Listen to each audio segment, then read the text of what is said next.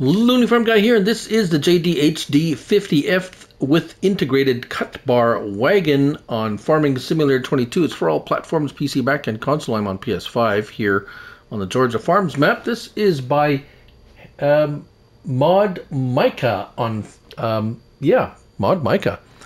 I think that's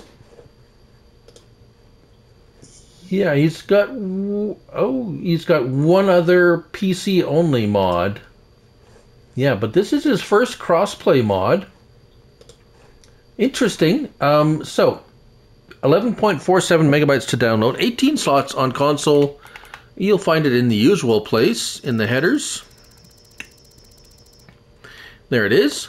$105,500. So it's a bit more than the HD 50F, which is, um, I'm pretty sure it's a modified version of it, pretty much straight up. 15.2, yeah, 6 miles per hour. Pretty much, it's a little bit more slot count. We do have quite a few um, color options, though. We also have branding John Deere, Case, Claas, Fendt, Massey Ferguson, New Holland, and John Deere. Color options, uh, plenty of color options, a bunch of olive green, and that's for the main piece of uh, the uh, the body or the header. Uh, we got some blues and um, yeah, kind of a mix and match. Chrome colors and then of course Giants colors. If you go in there, it's going to cost you a thousand bucks. Of course, I picked the green. There we go. Let's pick a purple. Uh, side covers again. We have a plethora of colors, even chrome. Now this is the grain extension make that yellow, just so you see those tips there. And then rim color, uh, we can make that, um, I don't know, pink. Why not? There we go. All right, so that's it for options inside here. Uh, what uh, makes this notable is now we have a 50-foot header that has its own, um, well, trailer system. So it's pretty simple to use. You back up uh, a harvester that has a hitch and um, you pull it to your field and once you get to the field you unhook it swing around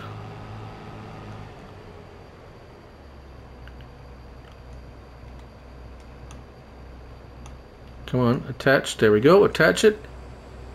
And then L1 and X unfold, which means it puts away those wheels and you're good to go. And that's really all there is to it. Uh, you don't have to fool around with uh, header trailers or anything like that anymore. We have our adjustment for the reel. It's not very fast.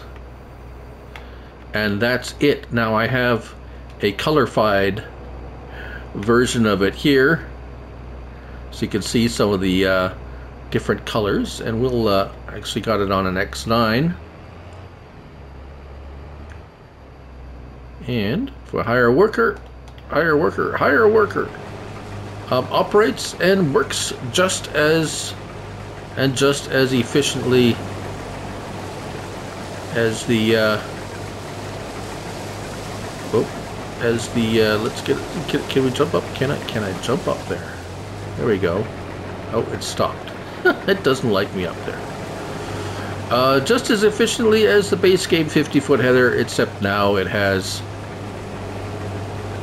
a, a built-in trailer system. So that's kind of neat. I'm just, I'm just actually kind of surprised uh, someone hasn't done it before now. But um, yeah, there you go. That's the JD HD50F with integrated cut bar wagon on Farming Simulator 22. Thank you all for watching, and remember, it's only a game, so till the next one, bye for now.